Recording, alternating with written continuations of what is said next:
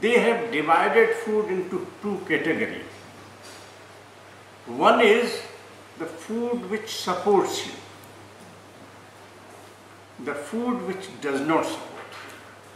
No, they, they don't say this is bad or this is condemned. No, they say food too tired, one which will support you to go further and deeper into your meditation. And there are certain food items which will not be supporting. There will be no progress accepted. So this is how they define. Hathapradipika also says the same thing, that this condemnation is not part of you. Remember one thing. Simply they want to make you aware what is helpful and what is not helpful. So what is not helpful, you should be selective. Maybe at some place something helps you, then they will not say.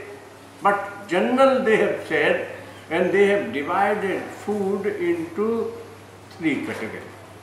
Sattvic, Rajasic and Tamasic. Sattvic food is which helps you to go deeper. Rajasic is which creates disturbances. Tamasic is which makes you to postpone the practices, lethargy, manana. so that is what they have, and then they have defined what is meant by sattvic, what is meant by tamasic, what is meant by rajasic food.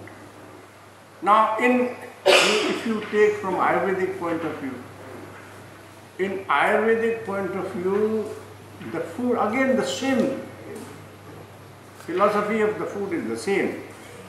What they say is they don't discuss or yoga does not discuss food from the point of view what does it contain? How much is starch how much is protein how much is no that is not their consideration.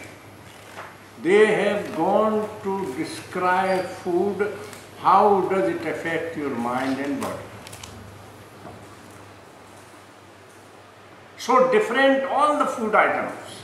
Hardly anyone is left where they have not described whether it is heat producing, whether it is rajasic, whether it is tamasic, whether it is sattvic. So all food items are described from that point of view. And accordingly, that has been done. In nutshell, what they have said, he also says the same thing, susnigdha, the, your food must contain ghee. Now, ghee is not only thing. You know, the food may be nutritious, but may not be tasty.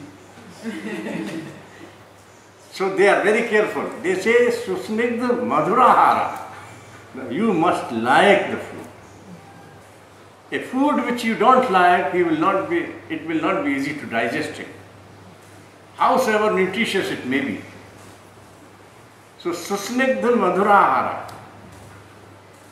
Chaturthansh vivarjita. Then you should be capable, the food which you like, there is a tendency to eat more. But you should be capable of keeping your stomach, one fourth of your stomach empty. Then bhujyate shiv sampritye. Also eat food with respect. And that is the diet proposed for a practitioner that it must support your practices.